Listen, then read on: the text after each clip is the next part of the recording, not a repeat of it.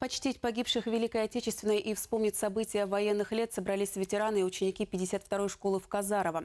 На митинге памяти перед собравшимися выступил Александр Владыкин, который в 1945-м охранял Южный Сахалин в составе пограничного полка. Жители деревни и школьники смогли посмотреть на оружие времен Второй мировой. Некоторые ученики несли караул на специально созданной пограничной зоне.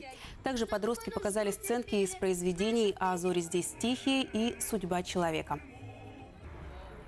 Нынешнее поколение должно знать то, что наши прадеды, наши деды участвовали в такой войне. Э, Мы должны помнить, скорбить, э, отдавать дань э, вот этому мужеству и гордиться тем, что наша страна победила в этой войне.